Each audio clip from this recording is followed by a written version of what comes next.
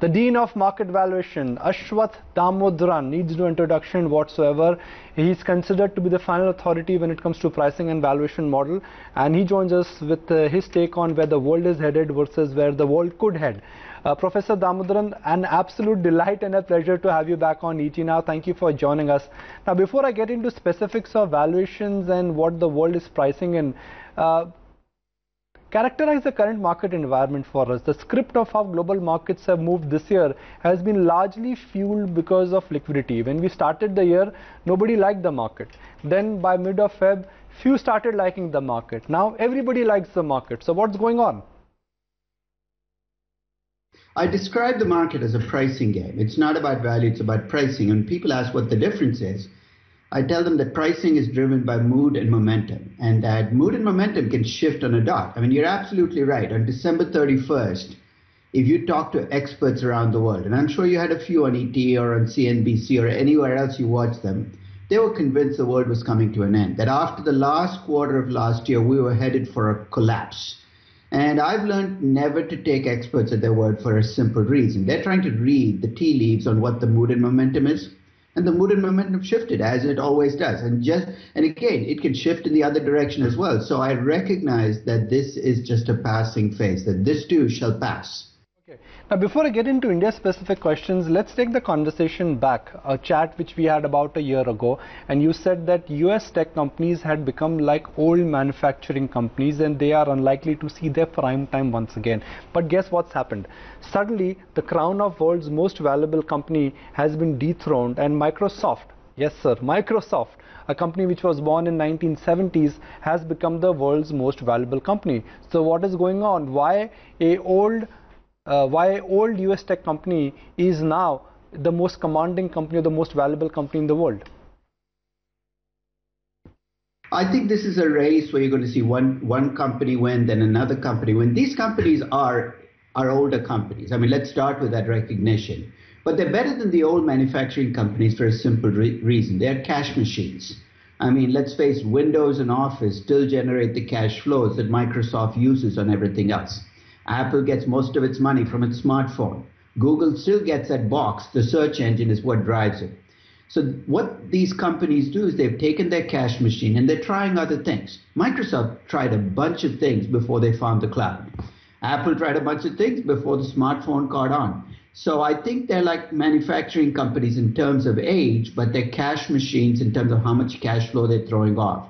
So these companies are not going anywhere fast. So in a sense, when you invest in these companies, you got to invest for the right reasons. You're not investing in Microsoft because it's a high growth company. Even in spite of its really good last five years, it is not going to be a high growth company, but it's going to continue to be a cash machine. And you got to give Satya Nadella the credit for having brought it back from the brink because it looked for a while that was an Office and Windows company that was headed for decline. And I think by finding that second life in the cloud, they've been able to rejuice themselves. Okay, uh, Professor, also if I look at the current environment and you know till the time uh, we got the Trump from Donald Trump, the world in a sense had reconciled to the fact that the trade war fear is behind us. Now when we spoke about the trade war fear for the first time in 2017 and early 2018, your view was that we could be staring at a new normal in the world. So do you think we are there yet and there would be uh, uh, you know a pushback which certainly will come from Americans now and Chinese would be on the receiving end? I think there is a recalibration in global trade. I think for a while the, the perception was anything that increase, increases global trade is good. But the consequences of that were, were pretty, were pretty, were not good for a lot of people in developed markets. Let's face it both Brexit and the election of Donald Trump reflected a reality, which is globalization was great for the cities. It was terrible for the rest of the country. And this was true in the US, it's true in the UK, it's true in Europe, it's true in India. Globalization, the experts and the financial markets have always loved because it makes them much more prosperous. But it's had real costs for the rest of the economy. So what you're seeing, I think, is a recalibration where people are saying, okay, trade is good, but there, again, there have to be some rules that people follow. And I'll be quite honest, the Chinese have never followed rules when it comes to global trade. So Personally, I mean, I, am I'm, uh, I'm not a Donald Trump supporter per se, but I think what he's doing with the Chinese was long overdue because the Chinese essentially took the trade rules, pushed them to the limit, broke them, and knew that people cared so much about global trade that there'd be no pushback. So now that there's some pushback, I think you're getting a reality adjustment here, which is that global trade can't be unrestrained, where some people break the rules and essentially get away with it, and some people keep to the rules. So I think that this is perhaps something that is needed in the long-term shift towards a global a global market, is a sense that rules matter for everybody. Okay, uh, Professor, let's just talk about uh, the the entire market cycle. Now from Ray Dalio to Howard Marks, everyone seems to be making a case that uh, the US bull market is running on steroids. It is enjoying a sugar coat, a sugar rush so to speak. Also this is the longest bull market we've seen after Second World War.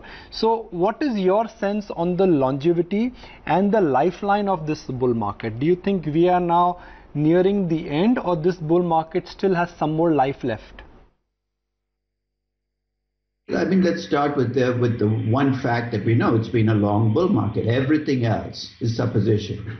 Remember what I said about expert up front? I would say that about everybody, even very smart people, even Warren, I take everybody with a grain of salt. That includes a Warren Buffett, a Ray Dalio. Doesn't mean that what they're saying doesn't make sense. I think it's just as a market ages, you're going to get worried, and you're going to get the and you're going to get people wagging their finger saying, "Oh, there's going to be a correction." So let's start with the second reality. There will be a correction, as there's in any market, bull market or not. And when that correction happens, you're going to see people wagging their fingers say, "I told you so." I've learned to ignore these people because, in a sense, if you worry about what's happened already and you constantly worry about corrections I've discovered it does more damage to your investments and your portfolio than letting it ride. I'm, I'm not a good market timer. I know there's going to be a correction, but I have no idea when it's going to happen. So, you know what I need to do? I need to go out and pick good companies. I can't worry about where the market is and when the next correction is coming because I find it undercuts my investing. I've got to focus on what I, what, what I brought to the table. And I'm not a market timer. So as I listen to these people, I agree with them. It's an aging bull market. There will be a correction. Are there people there who've lost all sense of risk? Absolutely. There's nothing I can do about them. It's almost a karmic view, which is, hey, what will be, will be. There's nothing I can do about that correction when it comes. And to the degree that I worry about things I don't control, it's going to hurt me as an investor. Great answer. You know, you can only control uh, what you buy and what price you buy. Market cycles have to be independently viewed if you're a genuine long-term investor. So, Professor, let's talk about a concern which at least back home our Indian audience has. And the concern what our Indian audience and Indian investors have that India has got some fantastic companies uh, in the consumer space, in the banking space, in the consumer discretionary space, which are fantastically well run and well managed businesses. But they are not available cheap. P multiples anywhere between 40 times to 70 times. So what does one do? If you think long term, these companies will grow. But if you buy them right now, you're not buying them at attractive valuations. It is like saying that you're buying silver at the price of gold. What should investors do? I mean, let's start with the with the one fact that we know it's been a long bull market. Everything else is supposition. Remember what I said about expert up front? I would say that about everybody, even very smart people, even Warren, I take everybody with a grain of salt. That includes a Warren Buffett, a Ray Dalio. Doesn't mean that what they're saying doesn't make sense. I think it's just as a market ages, you're going to get worried, and you're going to get the and you're going to get people wagging their finger saying, "Oh, there's going to be a correction." So let's start with the second reality. There will be a correction, as there's in any market, bull market or not. And when that correction happens, you're going to see people wagging their fingers, I told you so. I've learned to ignore these people because, in a sense, if you worry about what's happened already and you constantly worry about corrections, I've discovered it does more damage to your investments and your portfolio than letting it ride. I'm, I'm not a good market timer. I know there's going to be a correction, but I have no idea when it's going to happen. So, you know what I need to do? I need to go out and pick good companies. I can't worry about where the market is and when the next correction is coming because I find it undercuts my investing. I've got to focus on what I, what, brought, what I brought to the table. And I'm not a market timer. So as I listen to these people, I agree with them. It's an aging bull market. There will be a correction. Are there people there who've lost all sense of risk? Absolutely. There's nothing I can do about them. It's almost a karmic view, which is, hey, what will be, will be. There's nothing I can do about that correction when it comes. And to the degree that I worry about things I don't control, it's going to hurt me as an investor. So, Professor, the concern for Indian investors is that we are trading at multiples which are much higher than the historical averages. Most of the brokerages are of the view that if you're buying Indian stocks or if you have a view on the Indian market per se, uh, you're not exactly looking at buying them cheap. All of them are betting on the fact that there could be a mean reversion, which is that you will come back in line with historical averages and that's the time you should invest. Are you a big proponent of this mean reversion theory?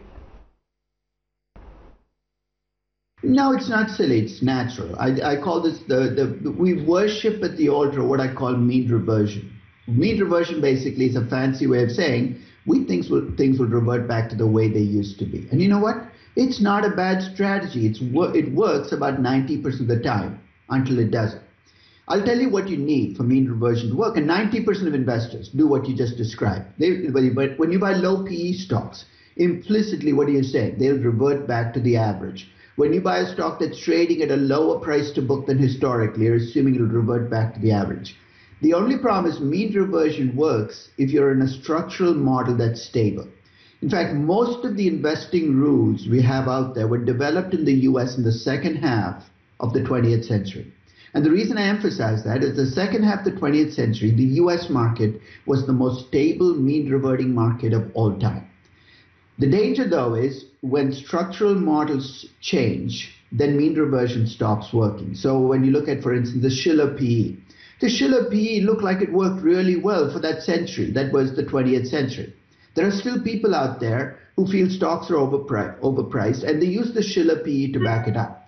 My reaction to them is the model might have changed, and using the Shiller PE or any other historical number as your basis for investing is extremely dangerous. So one thing I'd ask people to look at is whether they think the world today is different than it was 20, 40, or 50 years ago. And the answer is absolutely. And if the world is different, there is a danger here to assuming that history will repeat itself. Uh, so let me just uh, throw in one more ingredient in the melting pot, so to speak. Uh, for someone who looks at valuing the company along with the underlying story, how does one really understand commodities and how does one really understand cyclical businesses? Because when you're buying cyclical businesses or commodities, you're essentially betting on something based on macros and uh, perhaps possibility of a mean reversion, high from low or low from high. I think that if you buy cyclical commodity companies to play the cycle, you're asking for trouble because the history of people predicting commodity price cycles is not a good one. When was the last time you had an oil price expert actually get a forecast right? I don't even know why we listen to these guys anymore. So I think when people play commodity and uh, cyclical companies trying to play the cycle, they are going to lose money over time. So if you're going to buy a cyclical company, buy it for the right reasons, which is it's a really good company and people have sold off on it too much during a recession. If you're buying an oil company, buy it for the same reasons, not because you think oil prices will come back, but because it looks cheap at today's oil price. So I think there are good reasons for buying commodity and cyclical companies and bad ones, and buying them because you think the cycle will turn, to me, is a bad reason. Okay, let's talk about something which in a sense has been a serious concern now. The rule and regulations and the opinion of rating agencies. Now we tend to criticize them only after the dam is uh, broken. But do you think somewhere rating agencies need to be monitored or that's a system which is a uh, which is a broken down system and fund managers if you're following rating agencies uh, you're buying them at your own risk I, I think ratings agencies, there are two words I would describe to, for ratings agencies. One is they're always late to the punch. It's not their fault. They're built to be late, right? So when you see ratings change, it's almost always after the fact. The second is that ratings agencies are are filled with human beings, just like the rest of us. They caught up with, remember the words I use, mood and momentum. They get caught up in the mood of the moment, just like the rest of us. So you can, I mean, there are, there are of course, people who are, talk about the conflict of interest. I, I would argue that even if you took all the conflicts of interest out, that ratings agencies are still going to have the same problems that they have today in terms of being late and getting caught up in the mood of the moment. So here's my advice to investors. There is information in what ratings agencies tell you. So when I value a company, I do look up the bond rating, but trust but verify. So basically, even if you have a bond rating for a company, you need to do your due diligence. You can't buy Tesla bonds just because S&P says those bonds are safe. You need to look at the numbers for Tesla and ask, hey, would I lend to this company? So for for decades now, we've let ratings agency be a crutch when we buy bonds, and I think we have to we have to accept the fact that it's good to have a rating, but you need to do your due diligence still, and it's not difficult to do. We just have chosen not to do it. Okay, in on you know various forums and uh, including on your blog, you've mentioned that why you've not liked the Tata group of companies. Then came the Chandra uh, regime. He came out, he indicated, he promised that he will do whatever it takes to fix the legacy issues of the Tata group and he tried to do that. So how do you make of the of the initial tenure of uh, Chandra as a chairman of Tata Sons? Do you think he's cut out to achieve what he has promised or there is going to be a lot of uh, you know resistance which he will have to encounter because the Tata group of companies are like an old group of companies and they've got their own compulsions and have got they, then they've got their own challenges of bureaucracy. I think that the, lo the longer a uh, company has been in existence and the more the culture is set, the more difficult it becomes to create change at that group. And the Tata Group has a very long and illustrious history. Let's not overlook that. It, it I mean, it helped build India as we know it today. So I think from that perspective, change was always going to be difficult. It was going to be three steps forward, two steps back. You saw the three steps forward, which uh, when he, when Chandra first came in. And now you're probably seeing the two steps back, where the bureaucracy fights back. But if you can keep the incremental change going and you keep it moving in the right direction, it's still progress. So I think the key for the Tata Group is to continue to work on change, and that's got to come from within. And I think that uh, you know there will be incumbents who fight back, and um, it'll it'll be slow, but I, I'm still optimistic that change can come. How do you view a company like Reliance? It's a company which has got uh, a very interesting uh, journey. Every 10 15 years, it changes its core business. First, it was uh, petrochemicals, then it was refining, then now it's telecom. Uh, so, in your view, what currently is the current curve or the business curve of Reliance because it's got a young business, it's got an old business, and it's got a business which could be called as a business which is contracting, that's a petrochemical business. Reliance has, you know, there are a couple of parts of Reliance which I think are more options than businesses. Jio, for instance. I mean, clearly it's a cash drain for the company because so much cash goes in but it has the potential to make Reliance into a new kind of company because there's hundreds of millions of people. Who knows what else you can do with them? So Reliance is an interesting company. Again, the petrochemicals part provides the cash flow. So if you think of it in the same terms that you think of Microsoft, they're using their cash generating businesses to create new businesses that they hope will create growth. The key though is that you got to be careful about how you do that because if you let your ego and your hope run away with you, you can end up losing a lot of money in new businesses. So what you're hoping for if you're a Reliance investor is that within the group, there's enough discipline in how they allocate capital. That when they allocate capital to these new businesses, it's being done sensibly. Now, the one concern you should have as an investor in Reliance is that corporate governance is very, very weak. You can't, as an outsider, do much to change the way Reliance operates itself. So if change happens and it's not good change, you're not going to be able to stop it. So it's a it's a mixed blessing because having that kind of control over the company allows you to do interesting and new things. But having as much control as the Ambanis have over uh, Reliance also means that as an investor, you're fairly helpless if they decide to take the company down the wrong path. Now, we've spoken about the challenges in the Indian banking sector whether it was poor administration or lack of transparency or the opaqueness of the system. Well we can blame it on all.